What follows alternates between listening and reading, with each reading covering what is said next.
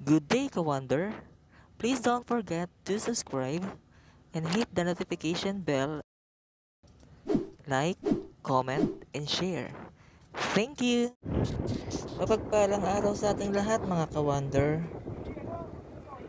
Yan ngayon po ay ah, November 17, araw po ng Miyerkules.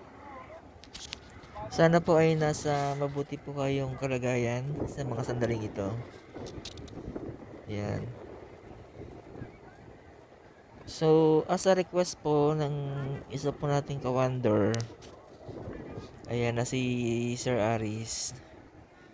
As ah, according to him, i-update po yung i-update po yung launcher sa Bukawi at sa Valenzuela. So ito na, ito na po, sir. Thank you so much po sa um, request niyo po. Ayan, nandito po tayo ngayon sa Bukawi. And then, mamaya-maya po nasa Valenzuela naman po. Aalamin natin kung naiangat na po ba yung launcher doon. Pero dito po mga kawander sa Bukawi, meron po tayong dalawang launcher na LG03 and LG04. Ayan, yung LG03, meron na pong dalawang viaduct.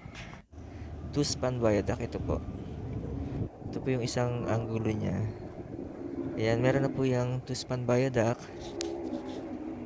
Ayan, yung isang span po, yung nasa left side, wala na pong hanging bars, no, na nakasabit. So, ibig sabihin, meron na po yung tension cable sa loob. Uh, while the second span viaduct po, ito po, meron pa po no hanging bars. So probably wala pa pong tension cable yan sa loob.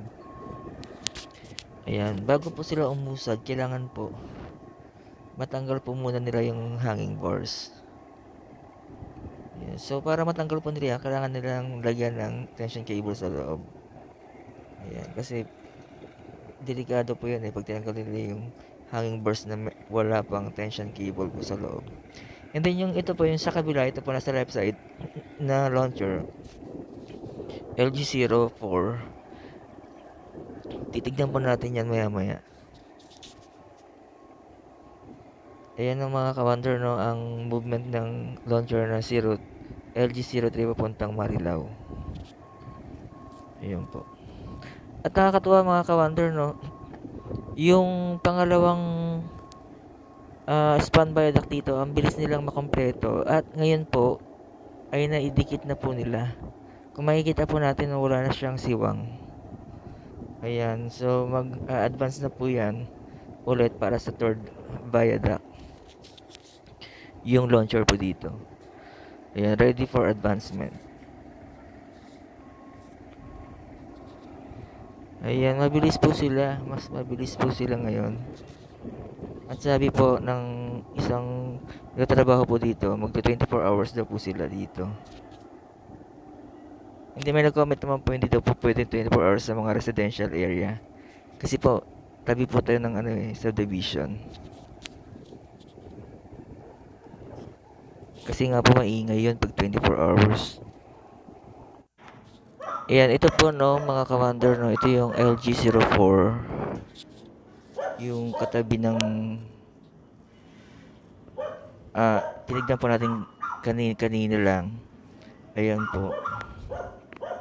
Yung last update po natin dito ka Wonder, ganito po po yung itsura niya. Ganito po yung sitwasyon niya. So ngayon po, kung titignan po natin, obserbahan natin base sa nakikita lang natin, ay wala pong wala pong masyadong pinag-iba. Wala pong major changes, no. Ayan po yung lona, may malaking lona na nilalagay po nila sa pagitan sa mga dugtungan po sa mga siwang ng box girder. Ayun po. Although kompleto na, kompleto na po yung mga box girder dito. Ayun po. So, although kompleto na siya, hindi pa po nila na ididikit kasi kitang-kita po natin yung gap niya or yung siwang niya. So, pag nakompleto po nila yan, natapos nila yan, nilagyan ng steel bar sa loob, ah, ng tension cable po sa loob, mag-advance na po tong launcher na to. Papunta naman ito ng Balagtas po. Yan, magkasalungat sila nung isa, yung katabi niyang launcher. Kung yun pong isang launcher LG03 ay papuntang Marilao, ito naman po ay papuntang Balagtas. Ayan, dito naman po tayo mga ka-wonder no, sa Valenzuela. Ayan. So, meron pa silang binubuhusan dito. Ayan, pundasyon po.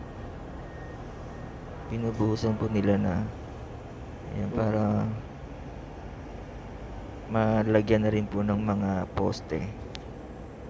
And dito po, no, nakikita natin ka-wonder, no, yung dito sa port ng Valenzuela, yung mga piers dito ay dalawa.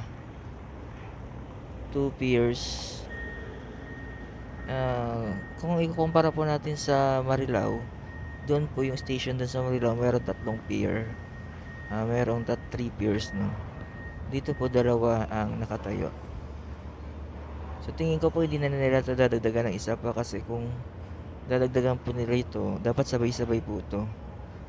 Dapat po eh ano na po eh, kompleto na po. eh. Ito po no, nakikita natin yung launcher dito nasa bab- bababa pa po siya. Nasa ibaba pa, hindi pa nila naiaangat. Yan po yung mga poste columns po ng station. Ayan po, nakikita po natin, no, yung launcher, nasa ibaba pa po siya, hindi pa nila naiangat. Pero nakikita po natin yung mga ka-wonder yun, no, yung ah, launcher support niya, nasa taas na. So, ibig sabihin po niyan, pwede kong i-conclude na malapit na po nilang iangat yan. Yan, kasi po, inangat na po nila yung launcher support. Doon po kasi nila ipapatong yung ah, pinaka-launcher. So, ah, ibig sabihin po niyan, malapit na nilang iangat yan kasi na, naiangat na po nila yung launcher support. Ayan, so dito po no, sa Valenzuela, two piers. Ah, tingin ko po hindi na po nila dad- dadagdagan ng isa pang pier to para maging tatlo kasi po kung tatlo po ito dapat po sabay-sabay siya or kahit pa paano may mga bakal na po no, may mga bar na po nakatayo dyan para sa pangatlong poste.